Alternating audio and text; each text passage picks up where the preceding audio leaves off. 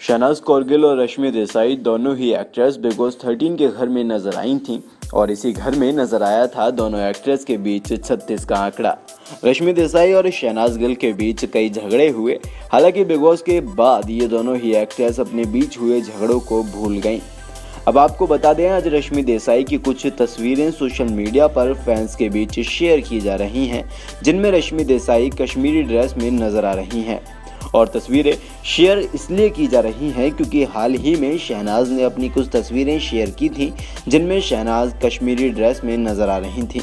अब आपको बता दें कि शहनाज गिल और रश्मि देसाई की इन तस्वीरों को लेकर फैंस का कहना है कि एक्ट्रेस ने शहनाज को कॉपी किया है।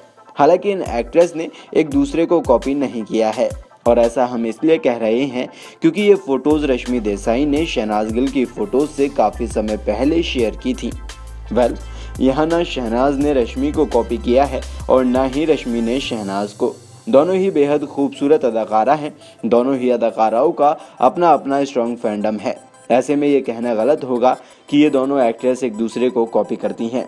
वेल रश्मि देसाई और शहनाज कौरगिल के अपकमिंग प्रोजेक्ट्स के लिए आप कितने ज़्यादा एक्साइटेड हैं, हमें नीचे कमेंट सेक्शन में ज़रूर बताएँ।